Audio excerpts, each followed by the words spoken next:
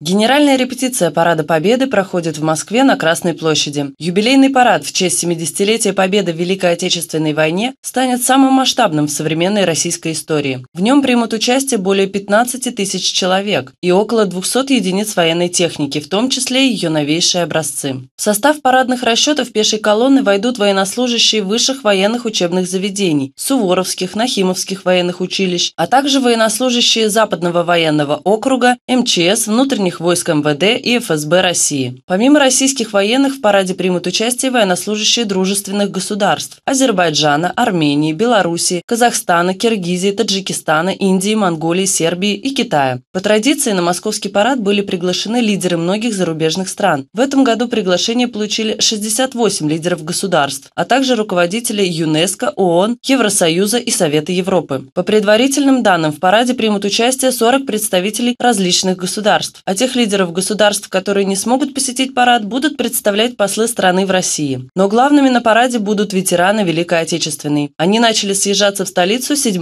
мая. Все заботы о гостях на дни праздников возьмут на себя Министерство обороны Российской Федерации и Управление делами президента. Ветеранов будут встречать и провожать в аэропортах. Для них будет организовано транспортное обслуживание, размещение в гостинице, а также питание, медицинское сопровождение и культурная программа с посещением музеев и концертов туристов. В столичных аэропортах и на вокзалах встретят ветеранов из ФРГ, Франции, Великобритании, Израиля, Польши, Украины, Белоруссии, Казахстана, из других стран и из регионов России.